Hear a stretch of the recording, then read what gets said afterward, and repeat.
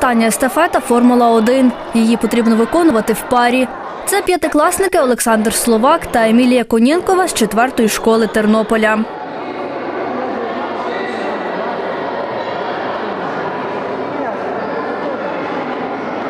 Ми пробігали спершу через фішки, потім через таке маленьке було зігзаг, потім я е, пригинатися, а потім пригати через бар'єри, е, взяти кеглю, ну вона не дуже важка, поставити. Це було дуже весело, але коли ми вчилися в класі, то це було, е, е, це було трохи важче, ніж тут. Підсумкову естафету виконують учениці 5 класу 10 школи Поліна Тичинська і Дар'я Мачуга.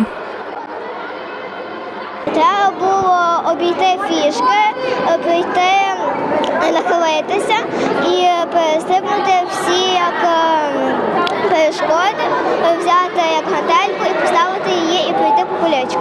Естафета була ну, важка, можна сказати, ну не сильно. Головне, ну, ми одну якби, пропускати можна. Якось трохи важко було, але водночас і не дуже. Такі змагання у Тернополі проводять втретє. Команда переможців візьме участь у західноукраїнській лізі з ІААФ з елементами легкої атлетики.